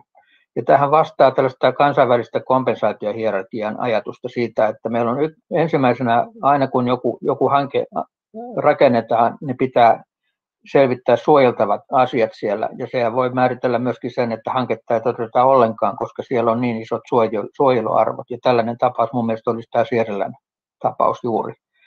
No sitten kun meillä on nyt tämä tilanne, että ne on päästy rakentamaan sinne, niin mun mielestä samassa yhteydessä voidaan silloin puhua ennallistuksesta, näissä vanhoissa hankkeissa ja nämä näitä kuivavuomia voidaan ennallistaa ihan sillä vaan, että johdetaan sinne tämä ympäristövirtaama. Eli ympäristövirtaama on tapa ennallistaa näitä koskia. Samalla niitä sitten pitäisi tietenkin kunnostaa, eli muokata sillä tavalla, että se normaali ja pienempi virtaama siellä sitten on, tulee mahdollisimman hyvin hyödynnetyksi. Eli äärimmillään sitten sillä tavalla, kun siellä Laurevirralla on tehty ja rakennetaan se todella kokonaan uudestaan. No näitä kuivauomia on täällä muokkailtu kovasti näillä pohjapadoilla jo nyt, eli ne on tehty tämmöisiä seisovaa vetisiksi altaiksi niitä, eli ne on pilattu tavallaan ne vanhat kosket sieltä, mutta ne pitäisi palauttaa uudestaan tai rakentaa nyt sitten uusille virtaamille so- soveliaiksi. Sitten kakkosena on siis tämä ohitusuomet, niin tarkoittaa haittujen lieventämistä, on siis rakennettava ja tehtävä nämä vaellusyhteydet. Se on tietenkin tärkeää, että täälläkin nämä kalat pääsee sinne keskijuoksulle, mikä kalaviranomaisen kannalta on se keskeinen asia. Kalaviranomainen ei nyt ole niin kiinnostunut tästä tämän alueen kunnostamisesta tai näiden haittujen lieventämisestä. Mutta sitten tänne voidaan tehdä myös näitä korvaavia lisääntymisalueita ja se tapahtuu parhaiten nimenomaan näihin ohitusuomiin. Ja sitten vielä on tämä elinympäristöjen kompensaatio samalla valuma-alueella, kun kompensaatiolla yleensä tarkoitetaan, että kompensoidaan jotakin, jotakin hävitettyä asiaa jossakin muualla, niin se pitäisi tehdä ensisijaisesti samalla valuma-alueella ja minun mielestäni mahdollisimman lähellä, eli niin, että se hyödyttää itse tätä samaa, samaa haitta-aluetta ja kompensoi osaltaan niitä menetyksiä, joita on siellä padotusten alla niissä koskissa.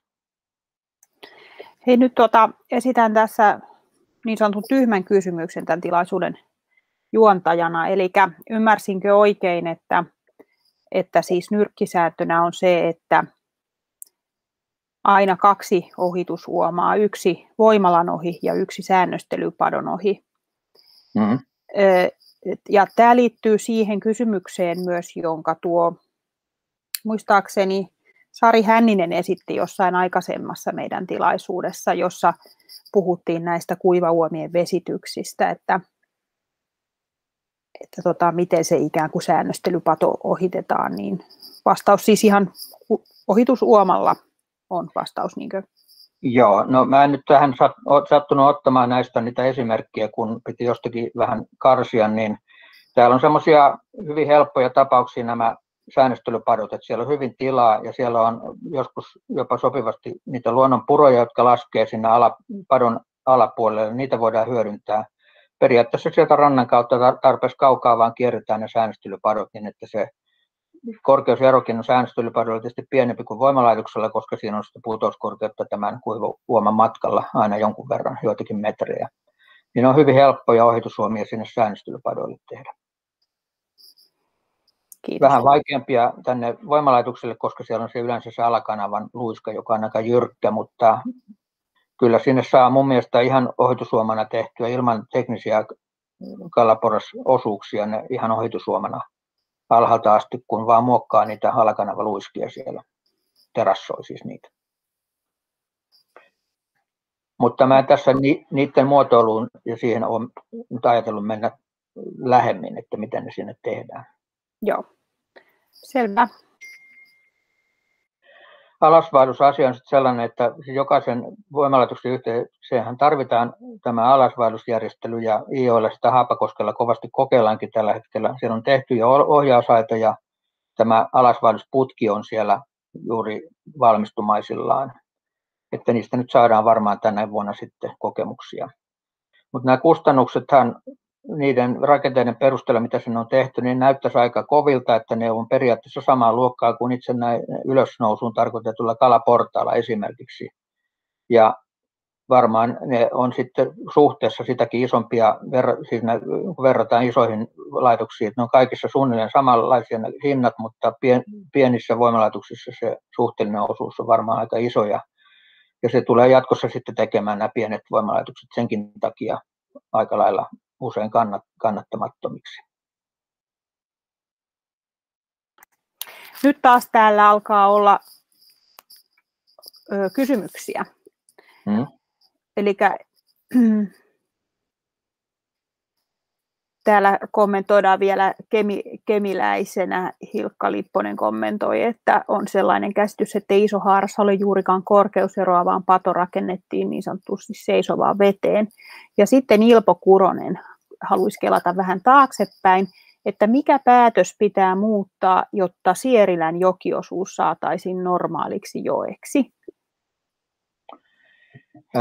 Vesihoitosuunnitelmassa on tällainen luokitus siinä alkuosassa, että siellä on tämmöinen, tämmöinen voimakkaasti muutetuksi nimeäminen. Se on ollut semmoinen prosessi ja sitä on periaatteessa käsitelty näissä vesihoitoyhteistyöryhmien kokouksissa tässä vuoden parin aikana.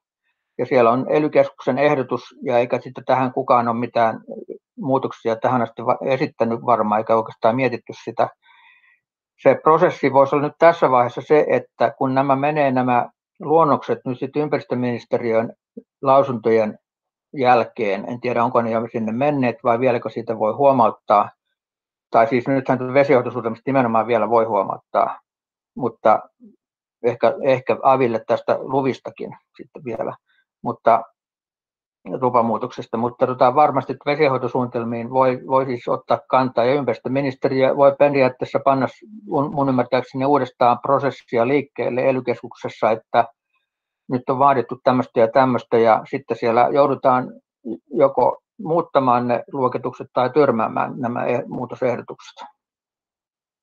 Mutta kyllä mun mielestä tota on sellainen, tämä on sellainen asia, että, että tästähän voi periaatteessa valittaa sitten vaikka vielä eteenpäinkin, riippumatta siitä, mitä Suomi tulee esittämään. Kyllä tämä on erittäin keskeinen asia tässä Sierilän kysymyksessä. Ja toivon, että kaikki kynnelle kykenevät nyt tästä asiasta lausuisi. Ja tosiaan tuo, laitetaan sitten vielä toi meidän viime viikkoisen workshopin ö, tallenteen linkki tuossa siellä tätä puidaan aika yksityiskohtaisestikin ja täällä muun muassa Esko Saari mieltäni lämmittävästi kehuu, että aluksi tämä työskentely tuntui siellä kokousviihteeltä, mutta antoi lopulta hyviä vihjeitä kommentointiin vesienhoidon toimenpideohjelmasta. Ja Tapani Veistola huomauttaa, että VNP on ollut ennen ainakin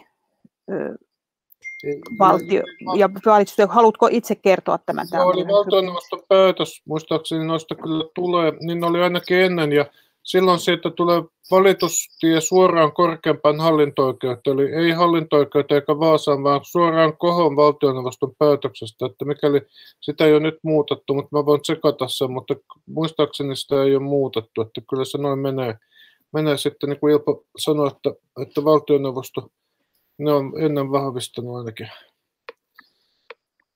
Joo, kiitos. Hyvä.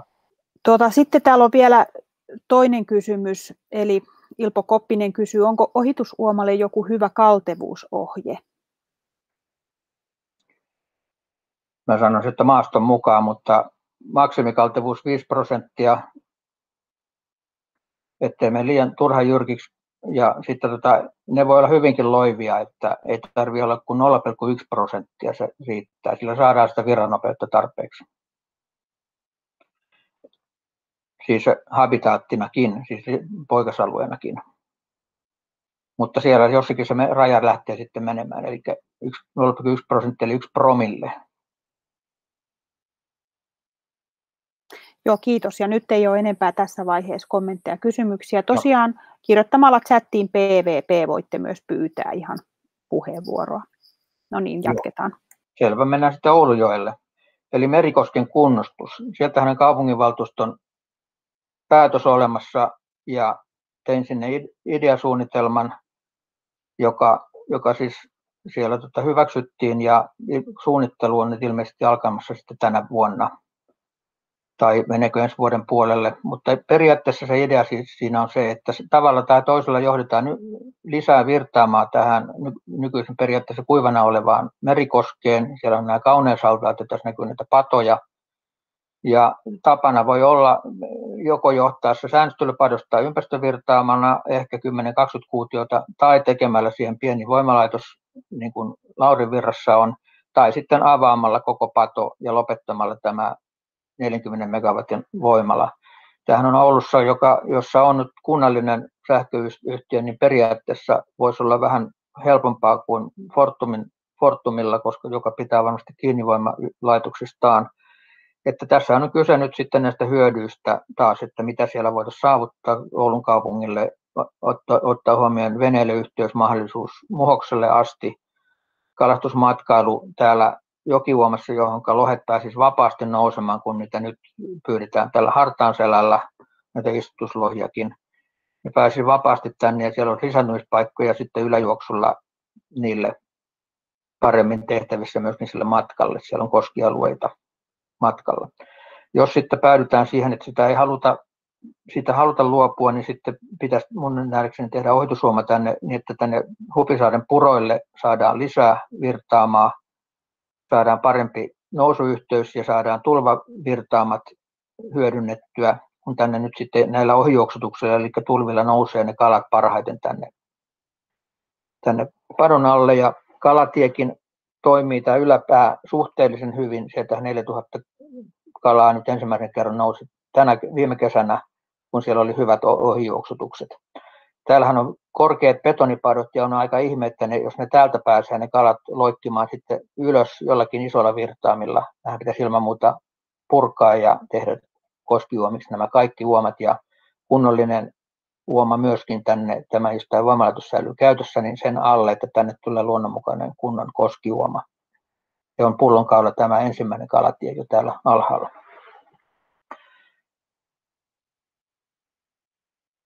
Sitten Montta, seuraava ylöspäin.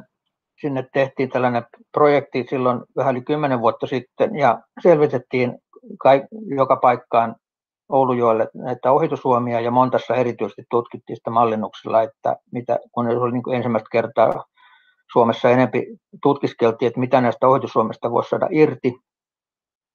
Ja silloin sitten oli tämä, näitä Kanadan reissuja ja muita siinä yhteydessä, että tota, tutustuttiin näihin, mitä, miten näitä on, on tehty muualla. Ja Fortum oli itse asiassa aika innostuneen oloinen tästä hoitosuoma ide, ideologiasta silloin ja teetti, tämä muista kuka nyt maksoi tämän tarkemman suunnitelman tästä hoitosuomesta. Ihan hienosti suunniteltu, tosin teknistä kalatietä tämä alaosa, heidän mielestään se piti olla tekninen, mutta sitä nyt ei sitten kuitenkaan toteutettu se tyssä se, se toimeenpano siinä jossakin vaiheessa tehtiin vaan sitten kiinniottolaite tälle kohtaa tänne alas, kun sitä mallinnuksella selvitettiin ja telemetrialla, että mihinkä ne kalat täällä voisi niin löytää, niin tämä oli se paikka, mikä valittiin sitten kiinniottolaitteilla ja Fortum muutti sitten tätä politiikkaa tähän kiinniottoon, vietetään ruotsalaiseen esimerkki jokeensa. No nyt tässä on sitten jatkoehdotuksena, mitä nyt, miten mahdollistettaisiin, mahdollistettaisiin niiden 4000 lohen kuteminen täällä jollakin tavalla, jos niistä nyt on tasaisesti siellä eri sukupuolia, taitaa olla koira tai enemmän siellä, että tuota siellä ei ole mitenkään selvä se kutemistilanne tällä hetkellä, vaikka niitä aika paljon nouseekin. Mutta kuitenkin tässä on tämä Montan koski, vanha Montan koski, jonka voitaisiin johtaa ympäristövirtaama, ja monta laitos on ainoa, jossa on nyt ympäristövirtaama tavallaan, eli minimijuoksutus 50 kuutio sekunnissa. Sitä ei voida pysäyttää kokonaan koskaan. Ja se on varmaankin sen takia, että alapuolella on Oulun kaupunki. Niin nythän tähän voitaisiin tehdä pieni voimalaitos, josta tulee sitten se 50 kuutiota aina, eli ei johdita sitä tätä kautta sitä 50 kuutiota, vaan tätä kautta, jolloin saataisiin tähän tasainen virtaama lisääntymisalue ja padottamalla myöskin tämmöinen ohitussuoma, joka menisi näille samoille kohdille ja myöskin täällä liikkuu silloin telemetrian perusteella myöskin ne lohet, että todennäköisesti ne löytää sitä hyvinkin helposti. Varsinkin siinä tilanteessa, kun tämä voimalaitos pysäytettäisiin, niin silloin ne sitten etsistäisiin lähiltä, tämän lähemmän paikan, mistä tulee jatkuvasti vettä. Ja täältä sitten ohitusuoma tänne ylös. Sitten muita mahdollisuuksia täällä on tässä silloin 2010 selvityksessä esitettiin myöskin tämmöinen pitkä ohitusuoma, joka ohittaisi samalla sitten myöskin tämän seuraavan tämän Pyhäkosken voimalaitoksen. Siitä saataisiin yhteys tänne Ketolan ojan suuntaan. Ja sitten tällainen pitkä yhteys, kun tämä Muhos joki laskee tänne Muhos, tänne monta voimalaitoksen alapuolelle, sinne, sinne haarana on Poikajoki, niin täältä saataisiin hyvin helposti tällainen yhteys Utajärven, Utasen yläpuolelta siihen. Siellä on hieno Istarinkoski ja siinä voisi katsoa, miten lohet siitä loikkii, tai niillä voidaan tehdä ohitusuoma tämän jyrkemmän könkään ohitse sieltä. No sitten näitä muita voimalaitoksia ylempänä, siinä on se Pyhäkoski. Se on ainoa, jossa on kalatievelvoitetta, joka, jota ei ole toteutettu. Se taitaa olla hissinä ajateltu sinne, ainakin silloin paikka taitaa olla valmiina. Tässä on, oli silloin ehdotuksena ohitusuoma täältä eteläpuolelta, pohjoispuoleltakin mahdollisesti saisi se on vähän jyrkempi. Sitten sen yläpuolella on pälli, jossa on pieni huivauoma ja säännöstelypato, niin sinne saataisiin luonnonpurojen kautta helposti tämmöinen ohitusuoma tehtyä. No sitten tämä Utanen, sehän on omalaatuinen voimalaitos, että siellä on yhdistetty kaksi koskea, tämä vanha Sotkakoski ja 10 kilometrin päässä yläpuolella oleva Utakoski, ja Oulujoen läpi, Oulujoen halki oikeastaan on tehty osittain tällainen alakanava ja osittain Utajärven läpi. Eli se on tosi hurja rakenne ollut silloin varmaan kaikkein häijyin voimalaitosrakennelma Suomessa, tehty 50-luvulla. No, tästä, Uta, Uta, tästä Utajärven alapuolesta Sotkakoskesta saisi erittäin hyvän ja kaikkein suurimman koskialueen lisätymisalueeksi, mitä on täällä koko Oulujoella – mutta sinne pitäisi johtaa tämä vesi tekemällä uusi tämän Utasen voimalaitoksen ohitus tätä eteläpuolelta tai länsipuolelta. Ja samalla saataisiin sitten tämän Utajärven kirkonkylän ohitse tällainen vuolas uoma. Siitä tulisi hieno ympäristövirtaamalla. Mutta tällaista pientä voimalaitosta tälle puolelle ei saa tähän uomaan, eikä myöskään toiselle puolelle, vaan ne olisi niin ympäristövirtaaminen johdettava myöskin tälle pohjoispuoliseen uomaan. Ja täältähän saadaan sitten tämä nousuyhteys ja se tarvittaisiin sen takia, koska tänne laskee Utosjoki, johon on nyt siirryttykin näitä muutamia kaloja, joita on saatu sieltä kiinni ottolaitteesta kiinni. Sitten ylempänä on vielä nämä kaksi ylempää voimalaitosta, Nuojua ja Jylhämä. Ja Nuojua Nuojossa on, on hieno koskialue tällä hetkellä. Se on semmoinen kuusi, vähän päälle kuusi hehtaaria. Ja sitten sinne saadaan luonnon purojen kautta ohitusuoma tehtyä. Ja siellä on sitten tämä Nuojuan oja vielä alapuolella, sinne saataisiin vielä toinenkin yhteys, yhteys tehtyä. Ja sitten tämä Jylhämässä se on kaksihaarainen koski, jotka voitaisiin vesittää. Ne osittain altaina siellä tällä hetkellä.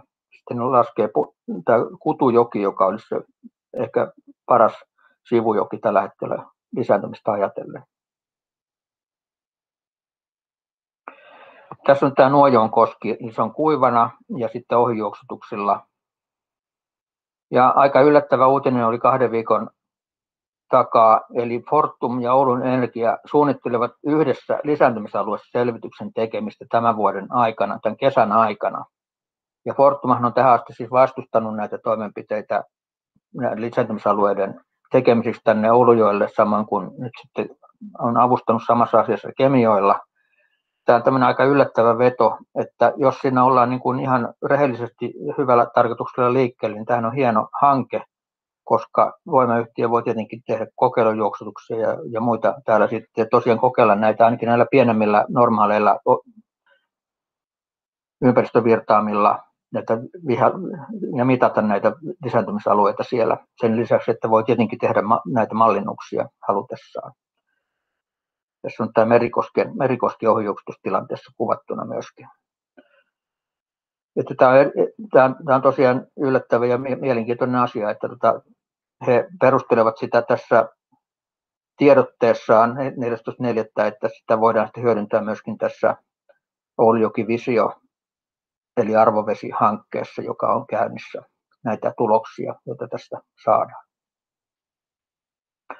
No sitten mennään vielä ajankohtaisempiin uutisiin, eli tänä aamuna tuli uutinen Tampereelta Ylen uutisissa, eli Tampereella elää unelma vapaasta Tammerkoskesta, siellä on kansanliikeperusteilla, ja sähkölaitoksellakin on jo valmiit suunnitelmat. Ja todetaan, että tämä ei ole uusi tämä idea, se on esitettiin jo vuonna 2014 ja itsekin olen siihen tutustunut kyllä aikaisemmin, mutta se on nyt näkyään sitten vähän laajemman, saavuttanut vähän laajempaa joukkoa tämä idea siellä. Ja viikko sitten tuli myöskin tieto siitä, että Kokemäjoilla on herännyt tämmöinen aloite ohitusuomista kaikkiin voimalaitoksiin mereltä aina Tampereelle asti ja siihen nyt sitten liittyy varmaan tämä myöskin tämä Tampereen kaupungin idea. Tammerkosken vapauttamisesta. Ja mä katselin tässä nyt sitten vähän näitä, näitä koskialueita alustavasti täällä, täällä Kokemäenjoella. Tässä on tämä kaikkein alinkoski, tosi korkea, harjavalta, 26 metriä korkea. Ja siellä on, mä olen siellä käynyt aikaisemmin, niin siellä on tosi upea tämä kuivauoma. Se on tämmöinen viirullinen kallio, tämä kuivauoma ei mikään nyt valmis poikastuotantoalue sinänsä, vaikka sinne johdettaisiin ympäristövirtaamiakin, mutta maisemallisesti tosi upea paikka. Siinä on luonnonsuojelualuetta ja tämä on erittäin haasteellinen, jos tänne ajattelee esimerkiksi ohitusuomaa, niin kuin tunnetaan nyt haluavan, niin se pitäisi mun mielestä tehdä nimenomaan tälle puolelle ja, ja tässä sitten keskustellaan luonnonsuojelun alueen säännöstä, että voidaanko sinne sallia jotakin tehtäväksi ja niin edelleen jätän sen nyt tässä vain tämmöisenä huomiona. Eli täällä on aikamoisia kysymyksiä. No sitten täällä on vähän ylempänä, otan nyt vain yhden voimalaitoksen täältä, jossa on, on huomattavasti paremmin tilaa ympärillä ja siellä on, se on matalampi myöskin voimalaitos. Sinne saadaan, saadaan kyllä ohitusuomistuja tehtyä, että mä en nyt tässä vaiheessa muuta kuin viittelöin sinne pikkusen.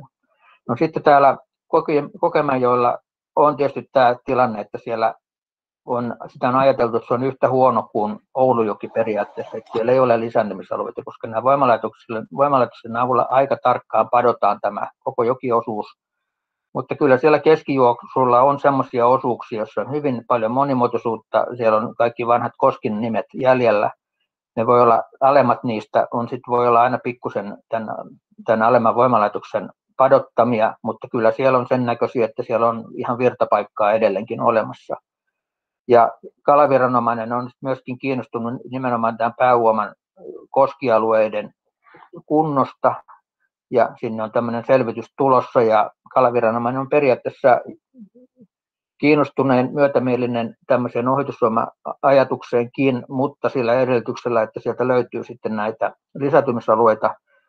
Mutta näiden lisätymisalueiden saaminen käyttöön, sehän edellyttää sitten ympäristövirtaamia myöskin näihin lupiin, eli että siellä ei saa harrastaa katkokäyttöä, vaan siellä pitää olla se jatkuva läpivirtaus. Ja kuinka iso se pitää olla, niin sen, sitä pitäisi selvittää sitten tarkemmin. No sitten mennään tässä vielä tähän Tampereelle, eli tässä on nämä Tampereen keskusta.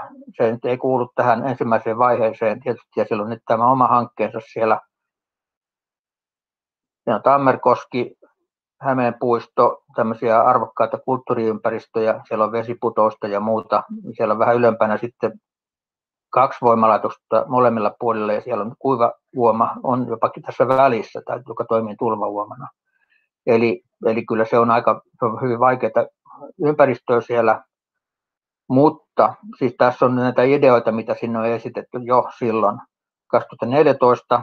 Tämä Villi Vyöhyke on niitä esittänyt, tehnyt tämmöisiä illustraatioita sinne, Kuohujen palo, paluuhanke, ja siitä on, löytyy, löytyy netistä.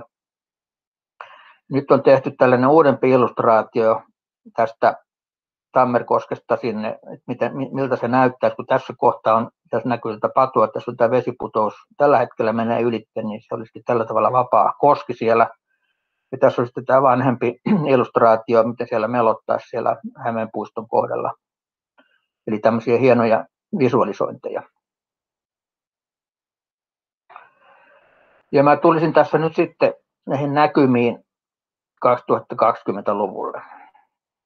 Tämä ensinnäkin tämä vuosikymmen on YK on ekologisen kunnostuksen vuosikymmen biodiversiteetin palauttamiseksi, kun edellinen vuosikymmen oli biodiversiteetin suojelun vuosikymmen, mutta on todettu, että tämä biodiversiteetti on vain vähentymässä maailmanlaajuisesti ja nyt vesistöjen osalta ilman muuta tarvitaan myös kunnostamista ja palauttamista, koska tässä niin meillä on jo vuosikymmenien takaisestakin heikennyksistä kyse.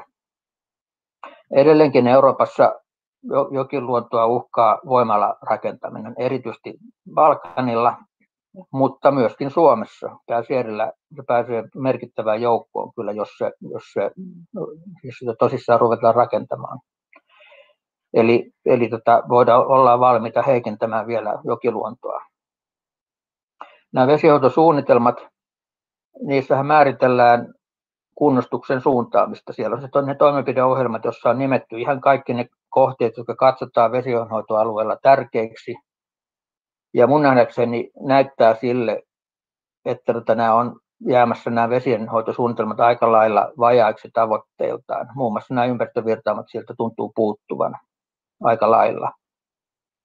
Ja sitten myöskin nämä vaellusyhteysasiat, niitähän on määritelty siellä, esitetty niin kaikkia niitä, jotka on esimerkiksi Kalatia-strategiassa, kyllähän ne on todettu siellä, mutta kuten esimerkiksi Palokin yhteydessä saattoi todeta, että siellä sitten on esitetty, että kalatie sinne pitää tehdä, mutta ei sielläkään ole itse niin kuin koskien kunnostamisesta tai ympäristövirtaamista mainittu sillä tavalla selkeästi.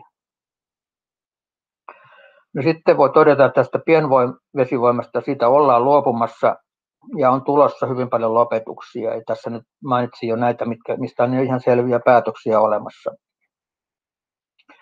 Ja hallitusohjelmassahan on vesilain uudistaminen esitetty, ja se on suunniteltu, että se tulee varmaan sitten ensi vuoden jälkeen vasta, ehkä vasta sitten 23.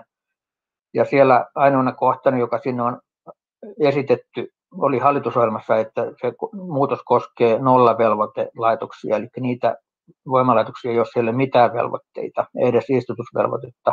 Ja nehän on yleensä silloin näitä ihan pieniä tai pienehköjä voimalaitoksia.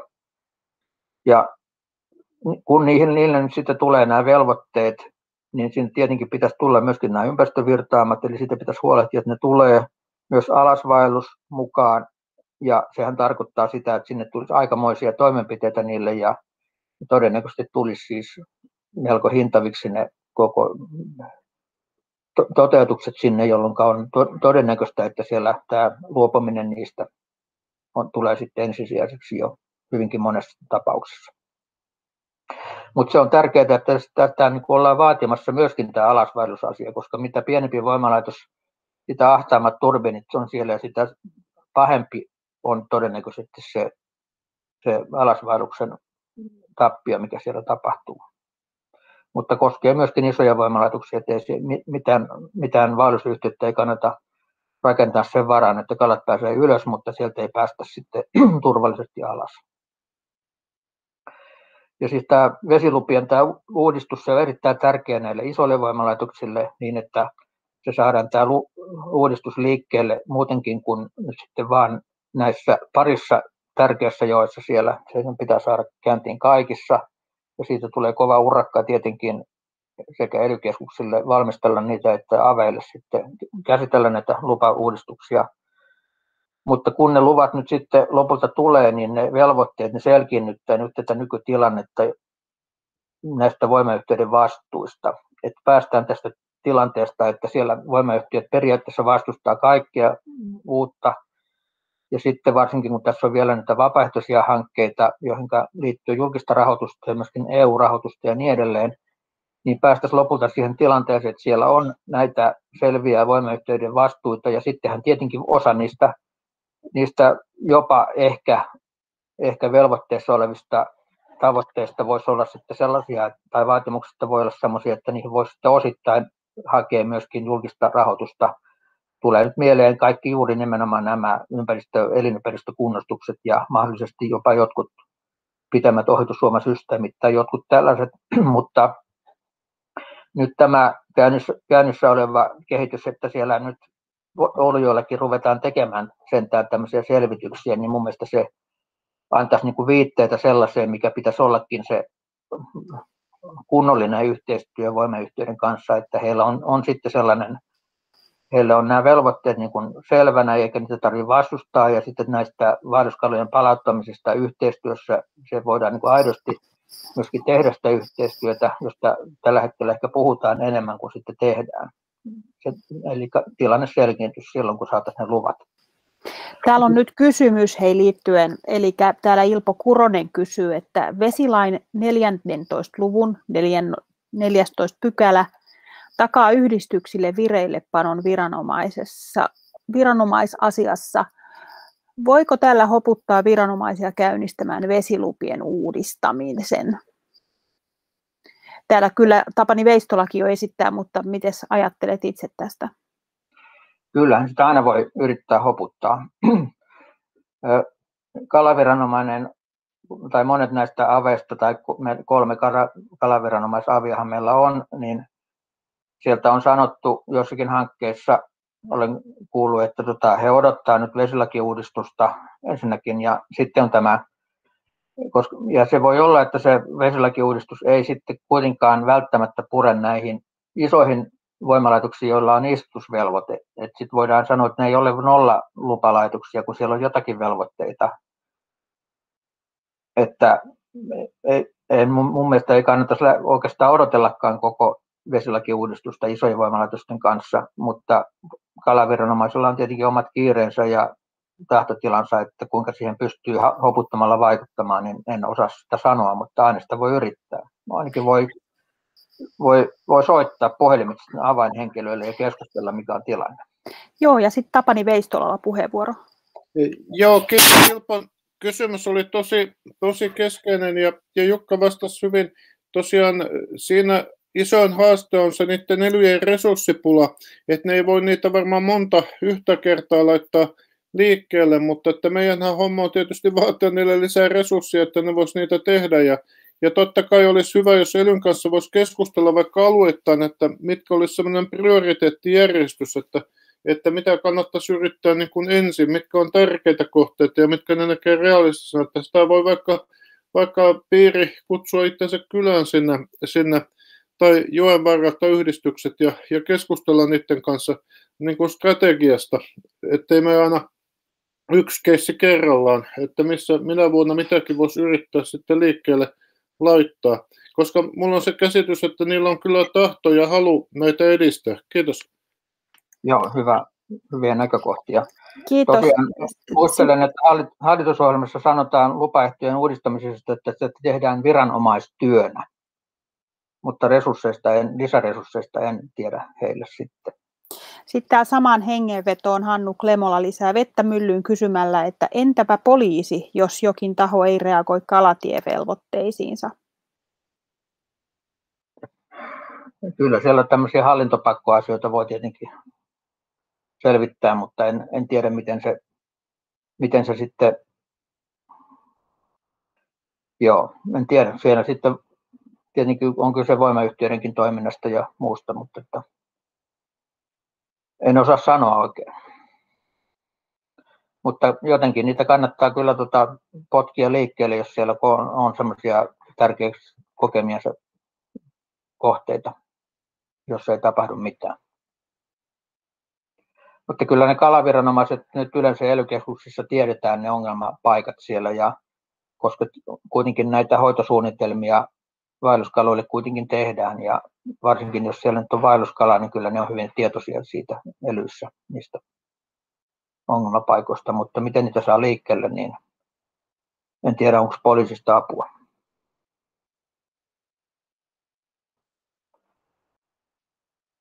No niin, sitten ei ollut tähän kohtaan lisää kommentteja ja. eikä kysymyksiä, että voit jatkaa. Joo, ei mulla tässä on muuta kuin tällaisia loppukaneetteja enää, että mun mielestä tämä nyt on todettavissa, että tämä on, täällä on erittäin paljon tämmöisiä ilahduttavia uusia hankkeita isojen jokien elvyttämiseksi, tämmöisiä yllätyksellisiä juttuja, niin kuin tämä Kokemäenjoki viimeksi tässä, mutta myöskin sitten edelleen kesken oleva Oulujoki on erittäin kiinnostava, eli nämä kaksi vaikeinta jokea nyt, että siellä on tämmöistä virettä olemassa sekä Oulun kaupungin osalta selvästi, että nyt yllättää sitten myöskin voimayhtiöiden osalta että, että kyllä sitä kannattaa siinä mielessä näiden yhtiöiden kanssa ihan avoimesti sitä yhteistyötä nyt sitten tehdä ja mennä kyselemään ja tarjota yhteistyötä ja muuta, vaikka he tietenkin itsenäisesti nyt tekee niitä selvityksiä siellä, mutta näitä yhteistyöryhmiä nyt siellä Oulussa, Oulussa tai Oulujoella kuitenkin meneillään tämä iso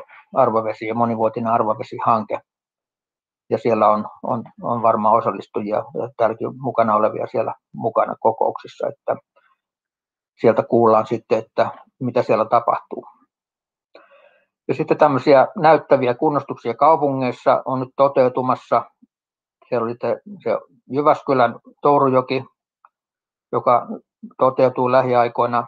Sitten oli tämä Varkauden Ämmäkoski, joka on iso juttu. Se on varmaankin toteutumassa. Siellä on hyvää virettä päällä tällä hetkellä. Ja nyt sitten tämä Tampere, joka vaikuttaa hiukan vielä utopistiselta, mutta siellä on ihan erilaiset miljoonat nyt ainakin esillä. Jo, oliko tuossa 120 miljoonaa vai mitä esillä, mutta siellä on sitten myöskin kyllä ilmeisesti tota päättäjiä mukana, ja onko sitten yhtiöistäkin mukana, ja ainakin näytti olevan siellä energialaitokselta ollaan mukana siellä, että kyllä se, voihan se olla, että nämä energiayhtiöidenkin miljoonat, niin ne on vähän sellaista asiaa, että kun tässä näitä isoja kaikkia muita investointeja on tuulivoimaa ja on näitä varasto, sähkövarastointijuttuja ja muita, että siellä voi olla, että jossakin tapauksessa vesivoiman asema keikahtaa ihan uuteen asentoon, että siellä sitten ei puhuta enää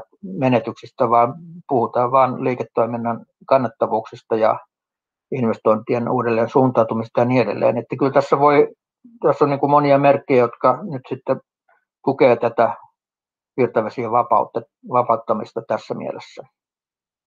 Ja saadaan tosi näyttäviä tuloksia varmaankin sitten, jolla on merkitystä kaupunkiympäristössä ja asukkaille ja turismille ja niin edelleen. Ehkä, ehkä matkailullekin, jopa matkailukalastukselle jatkossa, että onhan näitä välätetty sitten myöskin tätä suurten matkailukalastusten palauttamista niin kuin nyt Varkaudessa, koska sielläkin oli, oli aikanaan tätä taimenen ja järvilohankin kalastusta ja samanveroisesti kuin jossakin Oulujo, Oulujoella ja, ja Kajanin, Kajanin Ämmäkoskella ja niin edelleen. Kajaninjoella ja niillä muilla Oulujon Emäjoilla ja, ja siellä. Eli kyllä tässä nyt tämmöisiä merkkejä on, että tässä on tapahtumassa aika paljon. Kiitos. Nyt alkaa meillä kellolla 17 ja vielä on mahdollisuus, jos haluatte kysyä tai kommentoida. Tietysti varmaan tässä vaiheessa voitte, voitte ihan ottaa puheenvuoropyyntöä. Täällä on muutama jo lähtenyt iltahommiinsa. Ja tota, nyt tämä esitys tulee tuonne meidän sivulle. Olisi ehkä hyvä, Tomi, jos laitat sen virtavesivebinaarien sivun tuohon chattiin. Ja sitten myöskin nämä diat, jos saamme Jukalta, ne olisi kivat, niin saataisiin sinne sitten talteen. Ja tämä oli erittäin kiinnostava, nämä jokivartta ylöspäin menevät visiot, todella inspiroivia ja selkeitä. Ja sitten myöskin teidän sähköpostiin tulee tämä palautekysely, että on oikein mukavaa, jos ehditte siihen vastata. Ihan kolme helppoa kysymystä. No niin, olisiko vielä jotain loppu, loppuaskarruttavia kysymyksiä vai?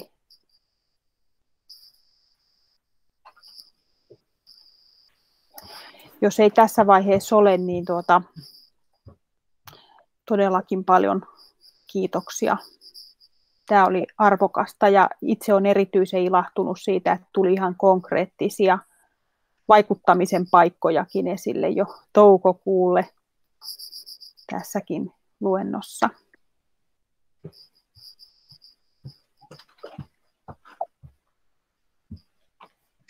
Ja täällä on tosiaan nyt täällä kiitoksia satelee chatissa ja, ja aletaan hiipua pois tästä tilaisuudesta. Hyvä. Niin, kiitoksia vaan tilaisuuden järjestämisestä.